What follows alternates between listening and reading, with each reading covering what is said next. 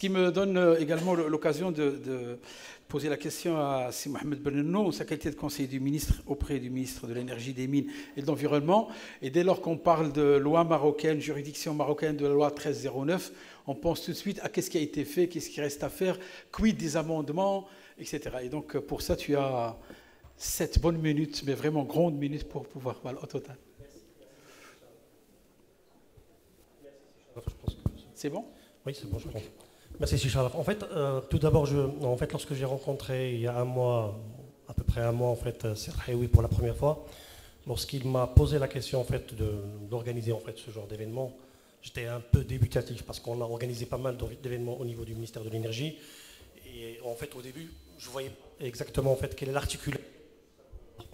Ceci étant, en fait, en, y réfléchissant, en discutant avec Sadhaoui, en fait, j'ai euh, senti un peu toute l'importance en fait de, euh, de la thématique, parce que c'est une thématique importante pour les entreprises nationales, pour améliorer leur compétitivité, d'autant plus en fait qu'on est de plus en plus exposé au marché international. On n'est plus en fait dans, dans un monde euh, uniquement en fait euh, national, on est exposé aux Espagnols, aux Turcs, aux, aux Égyptiens. Et je pense qu'il faut le changer peut-être. Pense qu'il a consommé son énergie.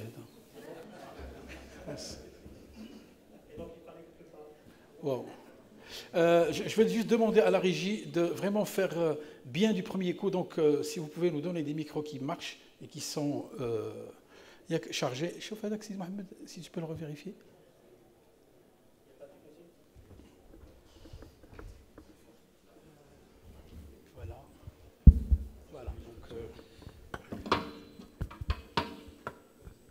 Et, donc, en fait, puisqu'on fait, on est dans, exposé au niveau international en, matière de concurrence, donc on doit quelque part euh, non seulement réfléchir lorsqu'on conçoit en fait, les stratégies énergétiques nationales, non seulement aux besoins euh, nationaux, mais aussi en fait, prévoir quelle, interaction euh, on aura en fait, avec les, les, pays en fait, concurrents et partenaires, parce qu'en fait, on n'a pas que des pays partenaires. Et donc,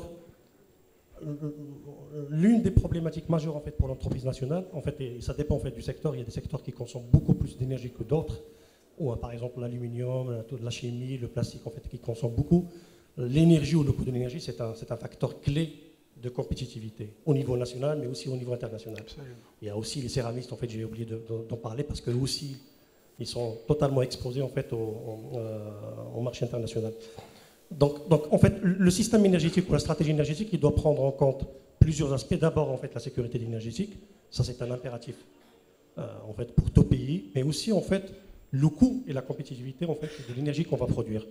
Et en fait, c'est quelque part ces deux éléments qui vont guider euh, la conception ou la vision en fait en matière stratégique. Je vais revenir en fait à ce que vous avez évoqué, qui n'est pas en fait, euh, Monsieur le Président a parlé de de mix intelligent, en fait, je le rejoins, je le remercie parce qu'en fait, il a facilité quelque part le travail.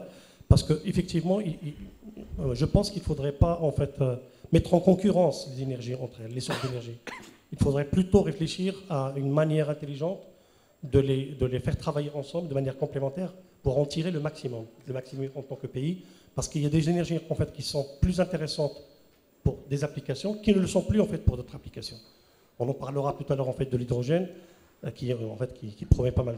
Donc en, matière en fait, euh, de cadre légal, parce que c'est sur lequel en fait, on est en train de travailler en ce moment, euh, on, a commencé à travailler par les, deux cadres de loi qui permettent justement aux industriels, et franchement c'est vraiment la cible, c'est les industriels qui leur permettent en fait de réduire la facture énergétique, soit en produisant par leurs propres moyens, donc c'est ce qu'on appelle l'autoproduction, soit en le faisant à travers euh, un prestataire ou à travers euh, carrément en fait un, développeur sous le cadre de la loi 1309.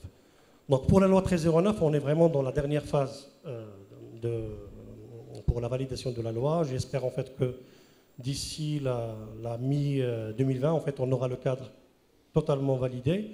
Et pour l'autoproduction, on est aussi, je pense en fait que mes collègues de l'ONE, même de l'ASEAN aussi, pourront toucher un mot, euh, on est aussi en phase de concertation avec les partenaires parce qu'il ne suffit pas en fait de concevoir une loi. Il faudrait en fait que ce cadre de loi soit accepté par toutes les parties prenantes et surtout en fait par les principales parties prenantes. Et donc sur ces deux euh, cadres de loi, je pense en fait qu'on est suffisamment avancé en fait, et j'espère que d'ici la fin de 2020, on aura les deux cadres. Alors la cible est différente. La loi 1309, quelque part, on cible, vraiment les, industriels. Donc la cible, c'est les gros industriels, c'est les gros consommateurs, euh, ce qui va leur permettre quelque part en fait, de réduire, parce qu'on va travailler sur des, des puissances ou des capacités qui sont plus importantes avec des économies d'échelle. Donc on va réduire de manière importante en fait la facture énergétique. L'autoconsommation, logiquement, l'esprit de l'autoconsommation, c'est d'abord en fait une question politique, puisque la liberté de, produire pour soi-même, mais c'est aussi en fait un impératif euh, économique pour les PME.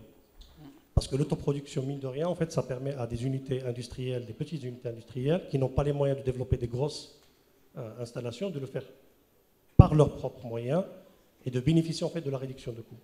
Donc ce sont deux cadres qui sont totalement complémentaires, mais qui visent des publics différents. Donc effectivement, nous, on a fait en fait dans le cadre de loi avec tous les partenaires, on a essayé de faire en sorte en fait que les deux cadres de loi soient complémentaires et qu'il n'y ait pas de, de vase communicant entre les deux ou de contournement des, deux cadres de loi.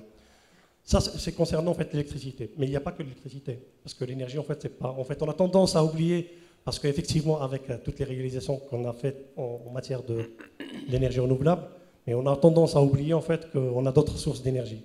Sur la partie gaz, parce qu'effectivement, et là je rejoins totalement euh, Monsieur le Président, je pense sincèrement que le gaz sera le bridge qui va nous permettre au Maroc et même au monde d'arriver vers un monde en fait, où on aura totalement renouvelable. Mais ça va arriver dans plusieurs décennies, je pense. Ce n'est pas, pas pour euh, quelques années. Et donc il nous faudrait quelque part travailler sur un mix énergétique qui en même temps en fait exploite toutes les nouvelles sources d'énergie, mais sans oublier la compétitivité et le coût. Ça c'est extrêmement important. On est, on est en train de, de parler de coût. Donc sur l'hydrogène, en fait, il y a une vraie question. À quel moment il faudrait se lancer? Est-ce qu'il faudrait se lancer maintenant avec le risque de payer un peu plus cher ou plutôt en fait attendre en fait que ça qu'il y ait suffisamment de, de retour euh, d'expérience donc ce sont de vraies questions en fait, qui sont posées. Donc la réponse, en fait, je pense que euh, durant les prochaines années, en fait, il y aura une réponse en fait, par, les, les décideurs. Mais je voudrais simplement en fait, mettre en exergue en fait, cette problématique, à quel moment en fait, se lancer dans une nouvelle source d'énergie. Je reviens au gaz. Le gaz, pour moi, en fait, c'est une solution, c'est une source d'énergie qui est extrêmement importante à plusieurs titres. D'abord pour les besoins industriels, euh, pour l'hydrogène, en fait, aujourd'hui, la principale utilisation, la principale méthode en fait, de produire l'hydrogène, parce qu'il est utilisé effectivement dans l'industrie, c'est le SMR, c'est utiliser le gaz. Mm. C'est produire l'hydrogène à travers, avec, en utilisant le gaz, parce que c'est beaucoup moins cher. Ensuite, le gaz naturel, il va offrir pour nos, industriels une opportunité pour réduire leurs coûts, plus, particulièrement en fait, certaines, industries, la céramique et, euh, mais d'autres en fait, les cimenteries, la céramique, le plastique et tout ça. Et donc sur la stratégie du gaz, on est en train de travailler sur euh, un nouveau code gazier qui va quelque part permettre au Maroc de s'ouvrir sur le gaz, parce que jusqu'à aujourd'hui, on, utilise le gaz, mais uniquement en fait dans le cadre de la, euh, du gaz de power pour produire l'électricité. Ce qu'on souhaiterait faire, en fait, c'est ouvrir pour faire profiter l'industrie marocaine en fait, de cette source d'énergie qui est relativement pas chère. Juste une petite comparaison entre les deux. Aujourd'hui, le, million de, BTU, il est à peu près à 1,5 dollars sur les marchés internationaux. il faut rajouter le transport, la regasification. Mais en fait, on peut aboutir en termes de mégawattheure à quelque chose comme de l'ordre de 25 euros le mégawattheure.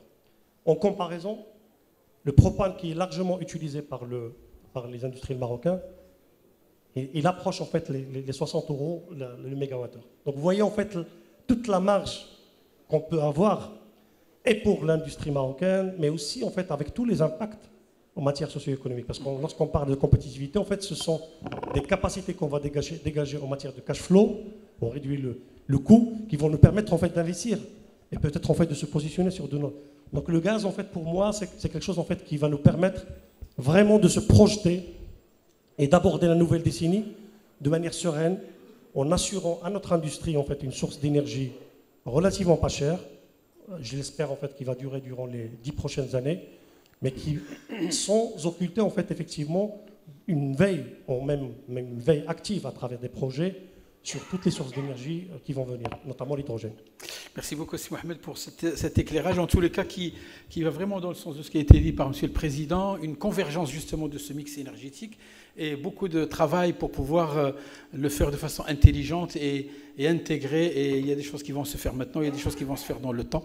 Merci beaucoup.